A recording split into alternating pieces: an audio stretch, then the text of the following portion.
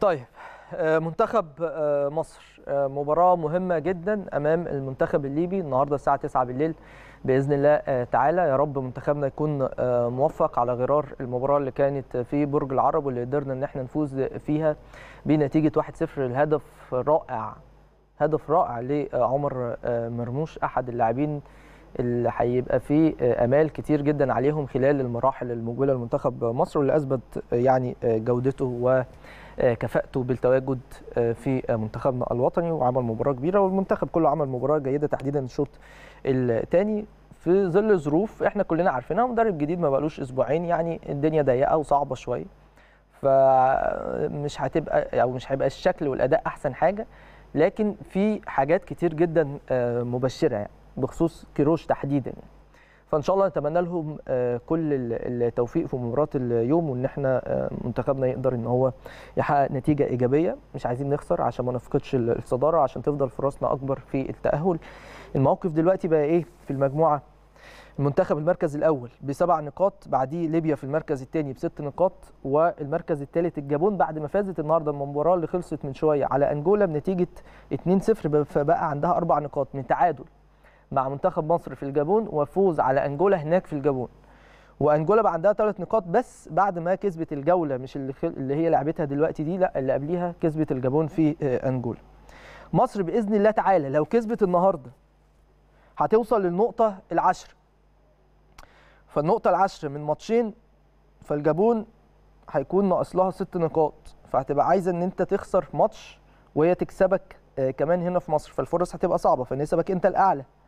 هتترقب بس ليبيا وماتشاتها مع الجابون وانجولا بإذن الله بإذن الله منتخب مصر لو قدر إن هو يوصل النقطه العشرة النهارده بفوز يتأهل بنسبة آه، تفوق ال 99% إن شاء الله آه، للمرحلة النهائية والأهم والأصعب من التصفيات الأفريقية المؤهلة لكأس العالم بإذن آه، الله.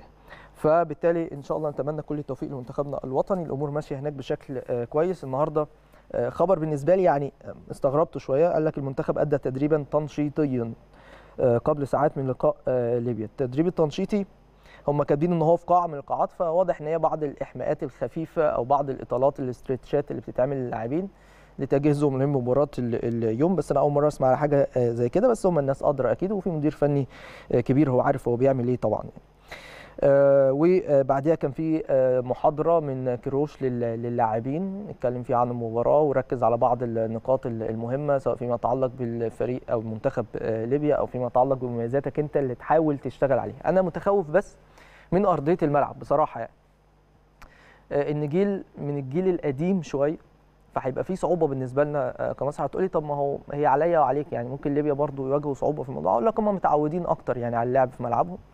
فالدنيا بالنسبة لهم هتبقى أسهل آه، نسبيا وأصعب عليك أنت.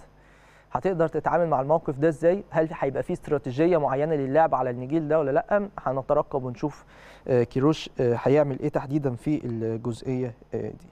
الكل بيتكلم على التشكيل المتوقع لمنتخبنا الوطني في مباراة اليوم. خليني أقول لحضراتكم الأقرب الأقرب حتى الآن لتشكيل المنتخب الوطني في هذه المباراة. هيبقى الشناوي في حراسة المرمى. في خط الدفاع وارد جدا يحصل تغييرات.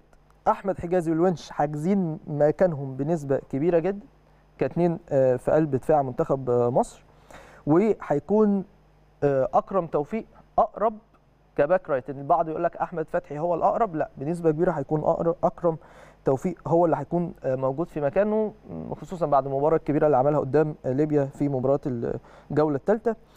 التعديل اللي ممكن يحصل بنسبة كبيره في مركز الظهير الأيسر هيكون أيمن أشرف مكان أحمد آه، فتوح. ده الأقرب خصوصا إن أنت أكيد هيكون ميولك دفاعية أكتر في هذه المباراة بسبب العوامل المختلفة. أنت بتحاول تحافظ على الصدارة بتحاول آه، إن أنت تتعامل مع أرضية الملعب اللي بالنسبة لك مش مش جيدة. في نص الملعب آه، برضو آه، الأقرب آه، للتواجد هيكون طارق حامد. عارفين برضو سماته الدفاعية ولاعب مميز وقوي جدا في وسط الملعب بجوار محمد النني أو عمرو سولية. ده أمر آه، هيبان قبل المباراة. طيب الرباعي الأمامي عبد الله السعيد موجود. عبد الله السعيد موجود في الملعب آه، بنسبة كبيرة آه، جدا. وهيكون صلاح ومرموش موجودين برضو. والكلام على مصطفى محمد أو كوكا الأقرب حتى الآن هو مصطفى محمد. ده التشكيل الأقرب لمنتخبنا الوطني في مباراة اليوم أمام ليبيا. نتمنى لهم يا رب كل التوفيق ويفرحونا النهارده عشان نوصل للنقطة العاشرة في سباق التأهل للجولة الأخيرة من التصفيات المؤهلة لكأس العالم قطر 2022 هروح لفاصل بعد الفاصل نرجع نكمل. يلا بينا.